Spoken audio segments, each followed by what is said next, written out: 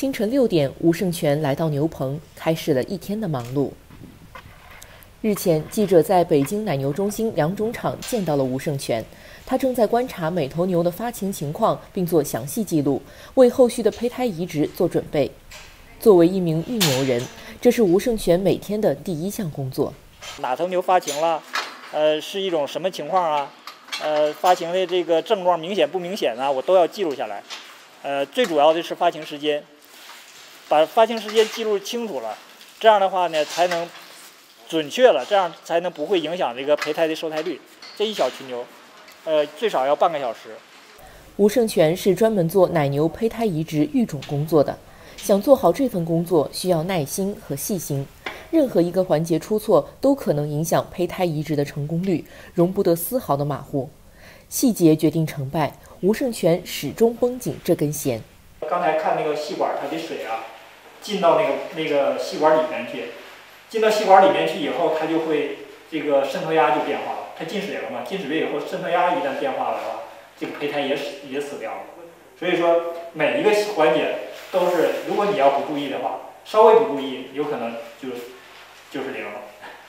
观察、记录、检查受体牛，解冻胚胎，进行移植。每天，吴胜全都要与上百头奶牛打交道，经常在牛场一待就是一天。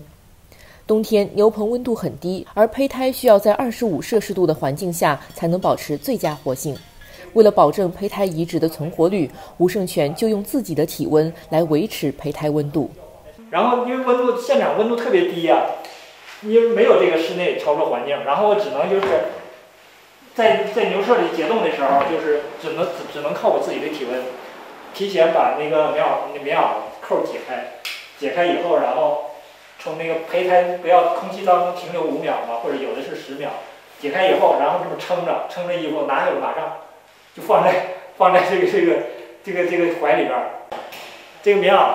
因为我这这个胳膊工作嘛，我是右手，然后我只能把这个袖儿剪掉一个，把这个这个袖儿剪掉一个，这样的话工作起来就方便了嘛。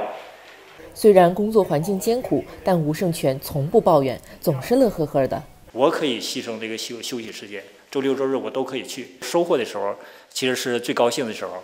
这些小公牛合格了，进站了。而且都健健康康、活蹦呃欢蹦乱跳。当你特别喜欢这个工作的时候，它脏你也感觉不出来，它累你你，但是你又感觉是一种幸福，一种这个有这个成就感。凭借着扎实过硬的专业技术，吴胜全连续多年把奶牛冷冻胚胎移植受胎率保持在百分之六十二以上，超出了中国该领域平均水平近百分之十，为北京地区奶牛品种改良优化做出了重要贡献。但在他看来，这只是本职工作。我的任务呢，就是通过胚胎移植呢，来培育这个种公牛。培育出来的种公牛呢，它的这个冷冻精液呢，来销往这个全国各地，来提高这个我们国家的其他地区的这个奶牛的这个生产性能，提高它的产奶量。通过我们这些这个养牛人吧，呃，我们这行业叫这牛人，通过我们的努力来这个。保证我们国人呢能够喝上这个健康的奶，喝上这个，而且这个保保质保量，应该说。更多精彩尽在中国新闻网客户端。